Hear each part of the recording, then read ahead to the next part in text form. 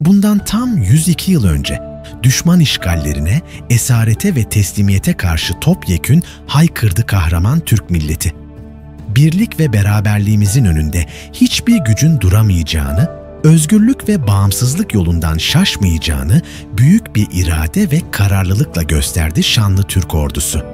Tarihi zaferlerle dolu aziz milletimizin en büyük zaferiydi 30 Ağustos.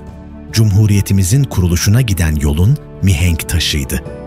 Büyük önderimiz Gazi Mustafa Kemal Atatürk ve silah arkadaşları yüreğindeki vatan sevgisiyle ülkemizin ve milletimizin bölünmez bütünlüğü uğruna canını feda etmeye hazır olan istiklal mücadelemizin bütün kahramanları. Şanlı mücadeleniz sayesinde varız ve var oldukça bizlere emanet ettiğiniz bu güzel vatanı korumaya devam edeceğiz. Tüm Türk milletinin 30 Ağustos Zafer Bayramı kutlu olsun.